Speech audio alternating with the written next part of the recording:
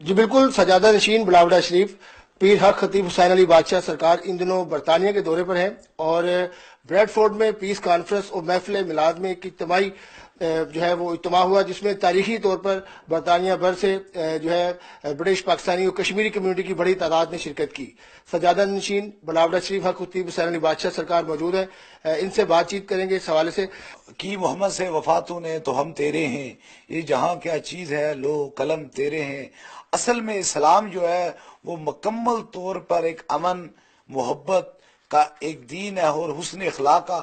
آپ دیکھ سکتے ہیں کہ حضور کی حدیث ہے کہ قیامت والے دن وہ شخص میرے اتنے قریب ہوگا جیسے ہاتھ کی دو انگلیاں قریب ہیں۔ جس کا اخلاق جو ہے وہ اچھا ہوگا۔ انسان کا اخلاق جو ہے، اس کی زبان، اس کی جو ماحول کا معاشرہ جو بگڑتا ہے، اس کی زبان سے بگڑتا ہے۔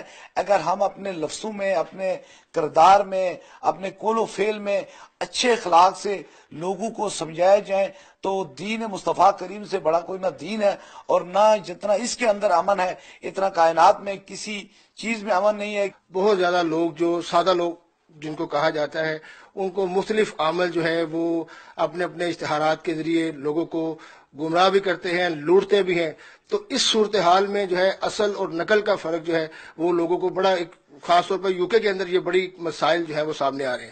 تو اس بارے میں کیا کہنا چاہیں دیکھیں، دین اسلام جو ہم صوفی کے اولاد صوفیہ کے اولاد سے ہیں اور صوفیہ کا جو درس ہے، وہ اپنے نفس کو مار دینا۔ اور نفس کا مطلب ہے کہ اس کی خواہشات کو، جب ہم دین کو لین دین کے چکر میں ڈالیں گے یا اس دین کے چکر میں اس لین دین کی طرف جائیں گے تو اس سے دین کا کوئی تعلق نہیں نہ صوفیہ کا تعلق ہے نہ روحانیت کا تعلق ہے بس ایک دکان ہے جس کی دکان کا جتنا سودا لو اتنے اس کی سامان کے پیسے اسے دو اس کا دین سے کوئی تعلق نہیں۔ آخر میں ختم نبوت کے معاملے پر پورے پاکستان میں آپ نے دیکھا کہ لبیک یا رسول اللہ پہ لوگ سب باہر نکلے۔ یہ جو ختم نبوت کا مسئلہ تھا یہ حضور کی محبت کا مسئلہ تھا۔